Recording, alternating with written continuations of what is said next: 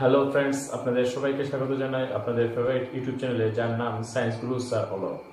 আপনারা যারা ত্রিপুরা ট্যাগ পরীক্ষার জন্য পেপার ওয়ান অল এবং পেপার টু এর ফর্ম ফিল আপ করেছেন, তাদের জন্য আজকের এই ভিডিওটি খুবই গুরুত্বপূর্ণ। কারণ আমার চ্যানেলে যারা রেগুলার ভিউয়ার্স তারা অনেকেই আপনাদের মধ্যে অনেকেই আমাকে রিকোয়েস্ট করেছিলেন যে ত্রিপুরা টেটে পেপার ওয়ানের নাম্বার সিস্টেম অর্থাৎ সংখ্যা তত্ত্ব থেকে কিছু ইম্পর্টেন্ট টিপস বা কীভাবে তার জন্য প্রিপারেশন নেওয়া যায় তার জন্য একটি ভিডিও আপলোড করার জন্য। তো আজকের এই ভিডিওতে আমি নাম্বার সিস্টেম অর্থাৎ সংখ্যা তত্ত্ব নিয়ে আলোচনা করার চেষ্টা করব। আশা করি আপনাদের খুব কাজে লাগবে। তো ভিডিওটি শুরু করার আগে আবারও বলে রাখি, যারা এখন পর্যন্ত আমার চ্যানেলটিকে সাবস্ক্রাইব করেনি তারা সাবস্ক্রাইব করে নিন এবং নোটিফিকেশন বেলটি অন করে রাখবেন যাতে আমার চ্যানেলের যে কোনো ধরনের আপডেট আপনাদের কাছে চলে আসে। তাহলে শুরু করে নেওয়া যাক আজকের ভিডিও আজকের এই ভিডিওতে যে টপিকসের উপর আলোচনা করব সেটি হলো নাম্বার সিস্টেম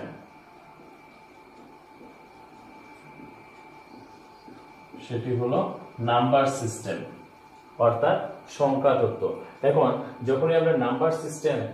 নিয়ে আলোচনা করব, এই নাম্বার সিস্টেমের মধ্যে আমাদের কি কি পড়তে হবে? প্রথমে জানতে হবে সব ধরনের নাম্বার নাম্বারকে কয়েকটি ভাগে নাম্বার বা সংখ্যা কয়েকটি ভাগে ভাগ করা যায়। যেমন আমরা যদি ধরি, প্রথম ন্যাচারাল নাম্বার ন্যাচারাল নাম্বার অথবা স্বাভাবিক সংখ্যা। ন্যাচারাল নাম্বার অর্থাৎ স্বাভাবিক সংখ্যা। তারপর হোল নাম্বার বা পূর্ণ সংখ্যা। পূর্ণ সংখ্যা হোল নাম্বার বা পূর্ণ সংখ্যা, তারপর ইন্টিজার্স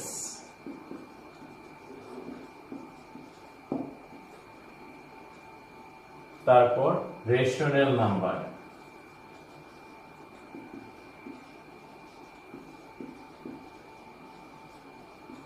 এখন আমরা ধীরে ধীরে একটা একটা করে সবগুলো নাম্বার সম্বন্ধে, বিভিন্ন ধরনের নাম্বার সম্বন্ধে জানার চেষ্টা করব। আমরা যদি প্রথমে ধরি ন্যাচারাল নাম্বার আমাদের মনে রাখতে হবে natural number starting from natural number বা স্বাভাবিক সংখ্যা শুরু হয় ওয়ান থেকে। One two three four up to infinity similarly whole number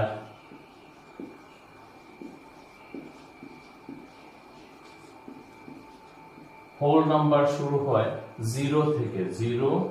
one two three four up to infinity তার মানে আমরা কি পেলাম? ন্যাচারাল নাম্বার এবং হোল নাম্বারের মধ্যে যদি আমরা দেখতে যাই ন্যাচারাল নাম্বার এবং হোল নাম্বারের মধ্যে শুধুমাত্র একটাই ডিফারেন্স সেটি হলো জিরো ন্যাচারাল নাম্বার শুরু হয় ওয়ান থেকে এবং হোল নাম্বার শুরু হয় জিরো থেকে। আর একমাত্র একটাই ডিফারেন্স জিরো হলো একটি নাম্বার যা আমরা ন্যাচারাল নাম্বারের লিস্টে নেই, কিন্তু হোল নাম্বার বা পূর্ণ সংখ্যার লিস্টে আমরা জিরো বা শূন্যকে আমরা পাবো। তো এখন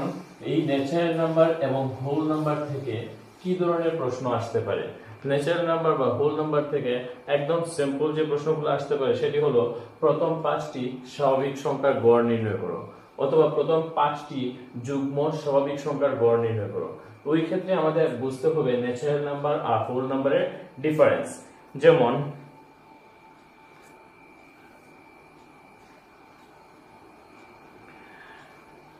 একটা প্রশ্ন দেওয়া আছে এখানে, পরপর দুটি ধনাত্মক যুগ্ম সংখ্যা খুঁজে বের করো,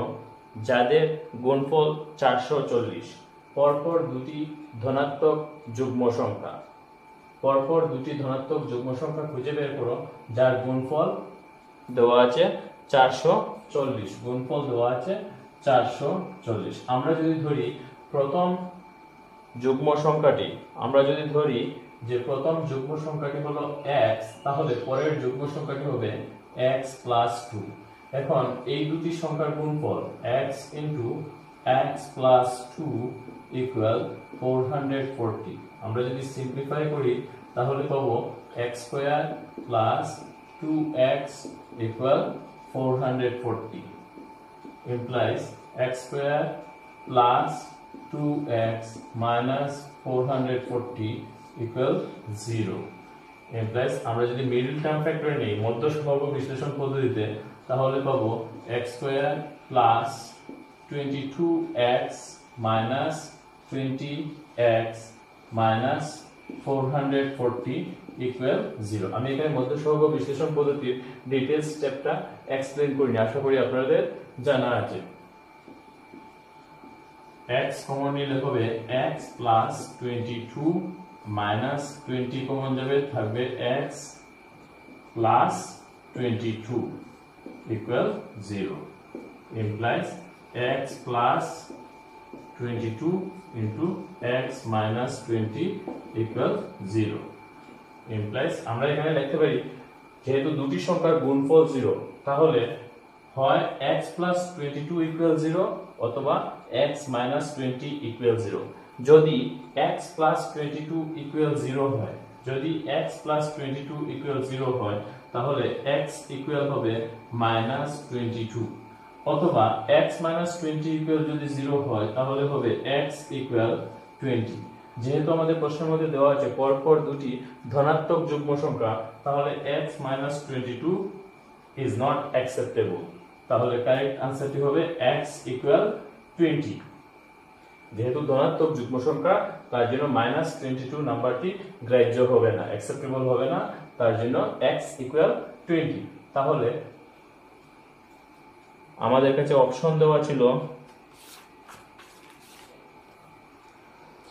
18 and 20, 20 and 22, 21 and 23, 44 and 10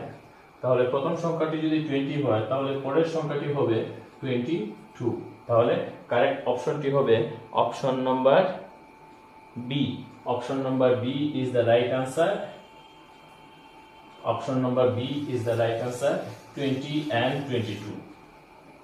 Option number B is the right answer 20 and 20. 20 and 22.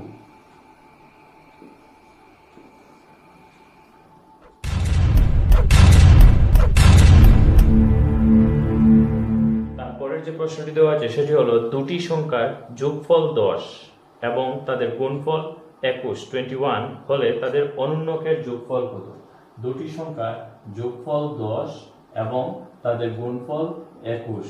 হলে তাদের অনুন্নকের যোগফল কত আমরা যদি ধরি যে সংখ্যা দুটি হলো এক্স এবং ওয়াই যদি আমরা ধরি সংখ্যা দুটি হলো এক্স এবং ওয়াই তাহলে আমরা লিখতে পারি x plus y equal ten এবং x y equal twenty one সংখ্যা দুটির যোগফল টেন এবং গুণফল টোয়েন্টি ওয়ান আমাদের বের করতে হবে সংখ্যা দুটির অনুন্নকের যোগফল। x এর অনুন্নক হবে one by x plus y এর অনুন্নক হবে 1 বাই y তাহলে সংখ্যা দুটির অনুন্নকের যোগফল হবে 1 by x plus 1 by y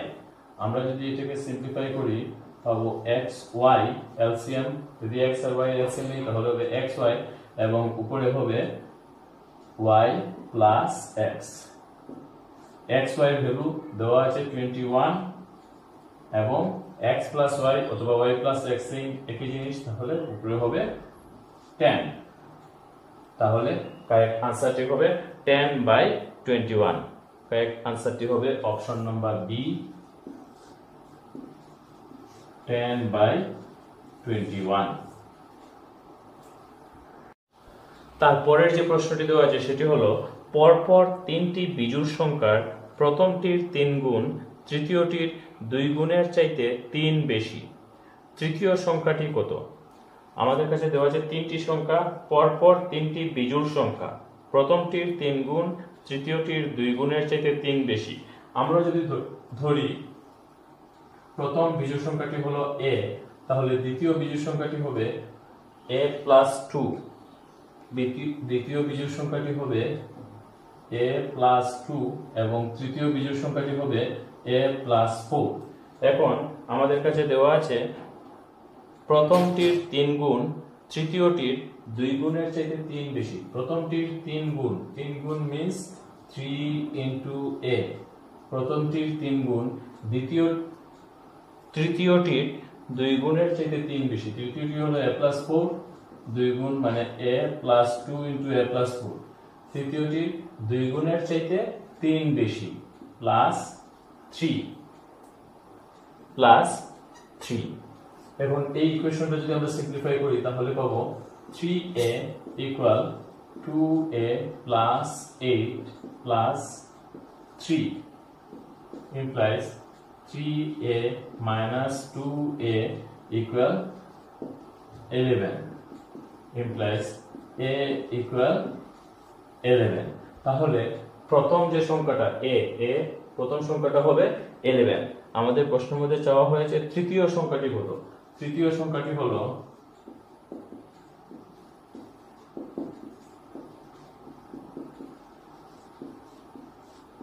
তৃতীয় সংখ্যাটি সমান সমান a plus four that is eleven plus four equal fifteen তাহলে কারেক্ট আনসারটি হবে option number B option number B is the right answer fifteen তারপরের যে প্রশ্নটি দেওয়া আছে, সেটি হলো, অজানা সংখ্যাটি নির্ণয় করো। দেওয়া আছে আমাদের কাছে forty six comma fifty six comma sixty seven 46 comma 56 comma 67 comma 80 comma gap তারপর দেওয়া আছে 104 104 আমাদের বের করতে হবে অজানা সংখ্যাটি মানে এই এই নাম্বারটা আমাদের বের করতে হবে। তো এইরকম প্রশ্ন, যখনই আমরা এরকম নাম্বার সিরিজের প্রশ্ন পাবো তখন প্রথমেই মনে রাখতে হবে আমাদের কি বের করতে হবে? যে নাম্বারগুলো দেওয়া আছে, তাদের মধ্যে কমন ডিফারেন্স কি? যেমন 46 56 কমন ডিফারেন্স 46 থেকে 56 আমরা কত পাবো? 10 56 67 11 67 to 80 13 80 to গ্যাপিং নাম্বার তারপর এটা থেকে 100 এখন প্রথম নাম্বার যে দেওয়া আছে 10 11 13 এখানের মধ্যে কোনো মিল নেই, কোনো 10 11 13 কোনোটার মধ্যে কোনো কমন রিলেশন নেই। তাহলে আমরা কি করব? অন্যভাবে দেখব যে যেহেতু এখানে 10 দেওয়া আছে 4 প্লাস 6 দুটি নাম্বারের দুটি ডিজিট যদি আমরা প্লাস করি 4 প্লাস 6 ইকুয়াল 10 এখানে দুটি নাম্বারের মধ্যে কমন গ্যাপ 56 আর যদি আমরা প্লাস করি 5 প্লাস 6 ইকুয়াল 11 56 এবং 67 এর মধ্যে গ্যাপ হলো 11 এর, এবং যদি আমরা দুটি ডিজিট প্লাস করি 5 প্লাস 6 আমরা পাবো 11 সিমিলারলি 6 প্লাস 7 ইকুয়াল 13 এখন 8 প্লাস 0 তো 8 প্লাস 0 হলে গ্যাপ হবে 8 দ্যাট ইজ 8 প্লাস 0 ইকুয়াল 8 তাহলে 80 এর সাথে 8 প্লাস করলে আমরা এখানে পেয়ে যাব 88 88 তারপর 8 plus 8 that is 16 16 8 plus 8 that is 16 88 এর সাথে যদি আমরা 16 প্লাস করি 88 এর সাথে যদি আমরা 16 প্লাস করি 8 plus 6 14 4 there is 1 8 plus 1 9 plus 1 10 104 তার মানে আমাদের মিসিং নাম্বারটা হবে 88 তাহলে কারেক্ট আনসারটি হবে option number B option number B is the right answer 88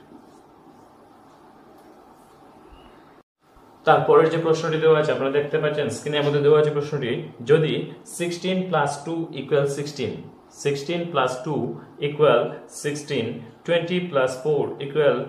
40 24 plus 8 equal 96 হয়, তবে 15 প্লাস 6 ইকুয়াল কত? 16 প্লাস 2 ইকুয়াল 16 16 প্লাস 2 ইকুয়াল 16 তারপর দেওয়া আছে 20 plus 4 equal 40 20 plus 4 equal 40 20 plus 4 equal 40 তারপর দেওয়া আছে 24 প্লাস 8 ইকুয়াল 96 24 প্লাস 8 ইকুয়াল 96 তারপর আমাদের বের করতে হবে 15 প্লাস 6 ইকুয়াল কত? 15 প্লাস 6 ইকুয়াল কত? তো 16 প্লাস 2 অ্যাকচুয়ালি 16 প্লাস 2 ইকুয়াল 18 হওয়ার কথা বাট এখানে দেওয়া আছে sixteen similarly twenty plus four twenty four হওয়ার কথা, কিন্তু এখানে আছে ফোরটি তার মানে আমাদেরকে এই রিলেশনগুলোকে একটু অন্যভাবে ভাবতে হবে। তো আমরা যদি দেখি sixteen plus two equal sixteen এখানে কিছু চেঞ্জ হয়নি, কোনো কিছুই চেঞ্জ হয়নি। এবং twenty plus four equal forty তো সিক্সটিন প্লাস টু এখানে কি কি বের করতে হবে? কি রিলেশনটা বের করতে হবে? এখানে টু এর জায়গাতে ওয়ান ধরা হয়েছে ফোর এর জায়গাতে টু ধরা হয়েছে এইট এর জায়গাতে ফোর ধরা হয়েছে। তাহলে সিক্স এর জায়গাতে হবে থ্রি আর কি? প্লাস এর জায়গাতে ইনটু দ্যাট ইজ মাল্টিপ্লাই করা হয়েছে। তার মানে 16 into 1 that is 16 20 into 2 that is 40 24 into 4 that is 96 তাহলে 15 into 3 15 into 3 equal 45 তাহলে কারেক্ট আনসারটি হবে 15 into 3 equal 45 45 is the right answer. তারপর নাম্বার সিস্টেম থেকে যে ধরনের প্রশ্ন আসতে পারে, আরও যে ধরনের প্রশ্ন আসতে পারে, তার মধ্যে একটি হলো আপনারা দেখতে পাচ্ছেন স্ক্রিনের মধ্যে দেওয়া আছে প্রশ্নটি five two three into five two one five two three into five two one into five three two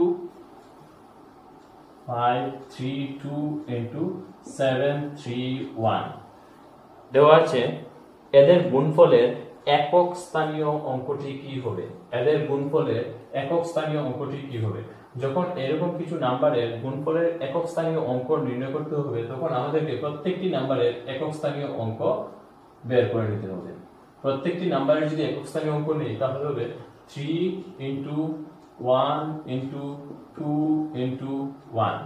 three one is one sorry three one is three three two R six six one is six তাহলে এদের গুণফলের একক স্থানীয় অঙ্কটি হবে ছয়। তাহলে correct answer হলো ছয়।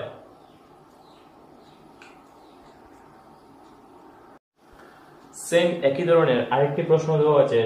সেটি হলো seven six seven six seven six seven six into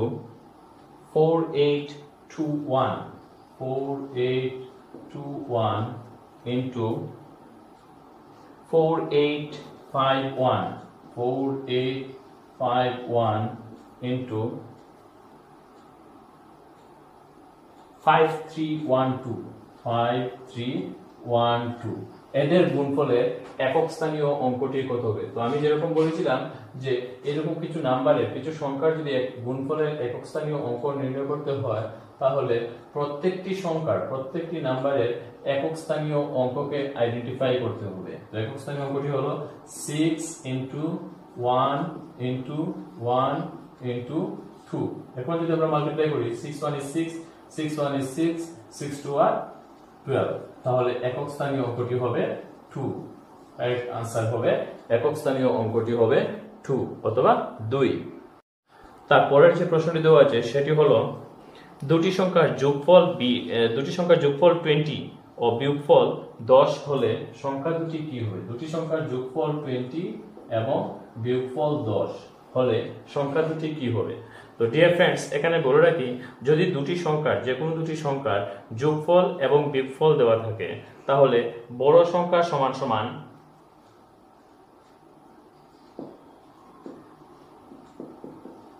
আপনারা জাস্ট ফর্মুলাটি মনে রাখবেন, বড় সংখ্যা সমান সমান যোগফল প্লাস বিয়োগফল ডিভাইডেড বাই টু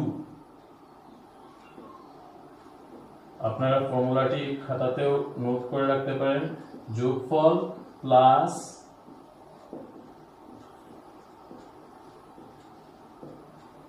বিয়োগফল ডিভাইডেড বাই টু এখানে আমাদের কাছে দেওয়া আছে দুটি সংখ্যার যোগফল টোয়েন্টি এবং বিয়োগফল হলো টেন তাহলে twenty plus ten divided by two that is thirty divided by two equal fifteen তাহলে বড় সংখ্যাটি হবে ফিফটিন এখন বড় সংখ্যাটি যদি ফিফটিন হয়, তাহলে ছোট সংখ্যাটি হবে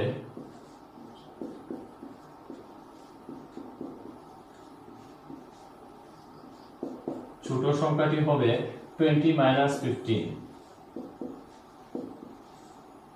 equal five তাহলে সংখ্যা দুটি হবে ফিফটিন এবং ফাইভ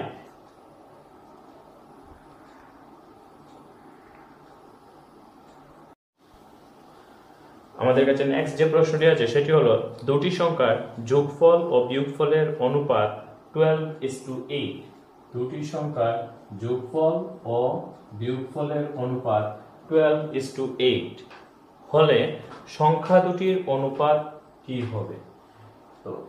যেহেতু আমাদের কাছে যোগফল ও বিয়োগফলের অনুপাত দেওয়া আছে, যদি আমাদের কাছে যোগফল ও বিয়োগফলের অনুপাত দেওয়া থাকে এবং আমাদের সংখ্যা দুটির অনুপাত নির্ণয় করতে হয় তাহলে সংখ্যা দুটির অনুপাত নির্ণয় করার যে ফর্মুলাটি আমি বোর্ডে লিখে দিচ্ছি, সংখ্যা দুটির সংখ্যা দুটির অনুপাত হবে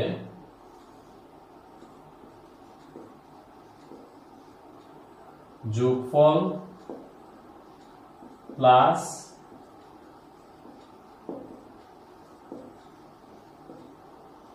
বিয়োগফল ডিভাইডেড বাই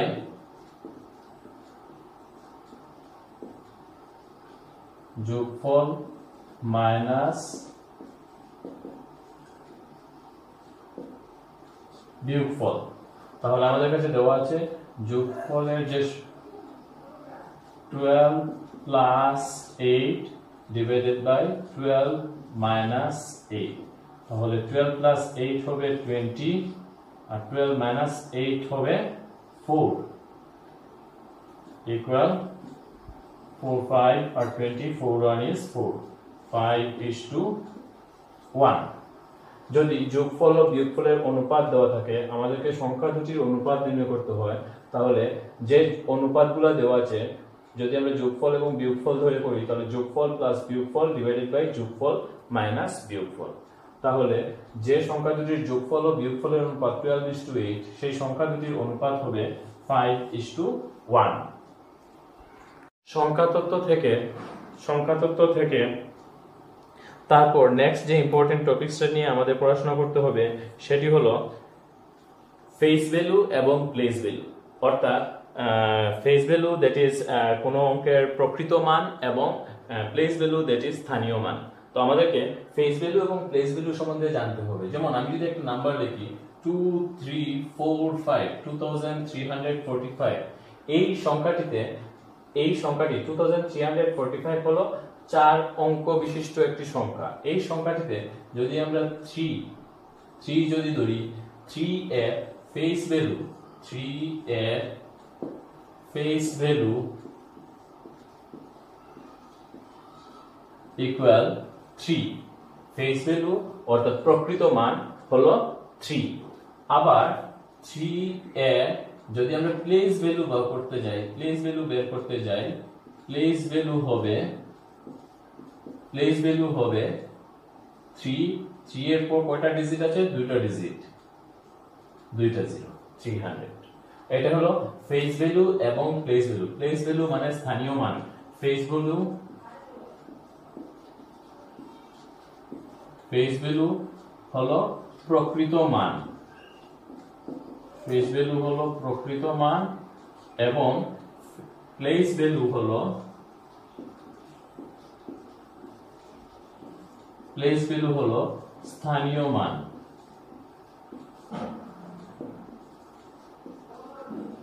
স্থানীয় মান। এখন সিমিলারলি সেম আমরা যদি আরেকটা নাম্বার লিখি, আমরা যদি আরও একটা নাম্বার লিখি সেভেন সিক্স টু ওয়ান এখানে সেভেন সেভেন এর ফেস ভ্যালু হবে ফেস ভ্যালু হবে সেভেন আবার সেভেন এর প্লেস ভ্যালু হবে প্লেস ভ্যালু হবে সেভেন থাউজেন্ড এটা হলো ফেস ভ্যালু এবং প্লেস ভ্যালু তাহলে সংখ্যা তত্ত্ব থেকে আজকের জন্য এ পর্যন্তই। আশা করি এই ভিডিওটি আপনাদের খুব কাজে লাগবে এবং আমি আবারও বলে রাখি, যারা এখন পর্যন্ত আমার চ্যানেলটিকে সাবস্ক্রাইব করেনি তারা সাবস্ক্রাইব করে নিন এবং সাথে নোটিফিকেশন বেলটি অন করে রাখবেন যাতে আমার চ্যানেলের যে কোনো ধরনের আপডেট আপনাদের কাছে তাড়াতাড়ি চলে আসে। তো thanks for watching this video